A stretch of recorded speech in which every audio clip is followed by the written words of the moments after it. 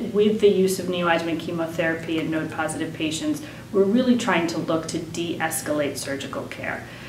Axillary lymph node dissection is a very morbid procedure, uh, which results in long-term risks of lymphedema, which I think is a huge quality of life issue for many patients.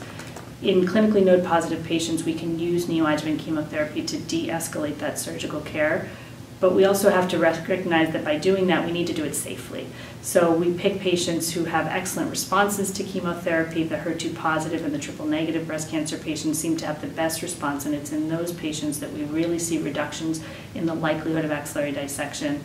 The hormone receptor positive HER2 negative patients have a little bit of a less uh, less brisk response to neoadjuvant chemotherapy, but we can still downstage a substantial number of those patients. And I think by using neoadjuvant chemotherapy to de-escalate surgery, we're going to improve the quality of life for many breast cancer survivors.